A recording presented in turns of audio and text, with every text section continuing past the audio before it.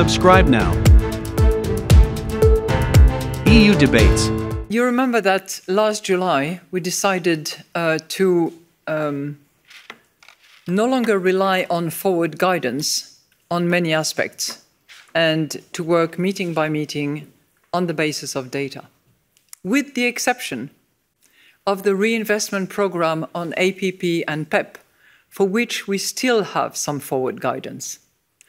So the forward guidance that we have on APP uh, is that uh, maturing securities which were purchased under APP uh, will continue to be reinvested as long as is appropriate in order to maintain ample liquidity conditions and an appropriate monetary policy stance.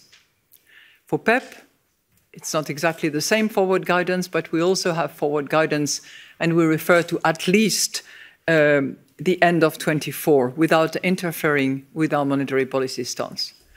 Having said that, what we are doing now is focusing and giving priority to the policy rate because we believe that it is the most appropriate, most proportionate, most efficient instrument that we can use in order to return inflation to the 2% medium-term target.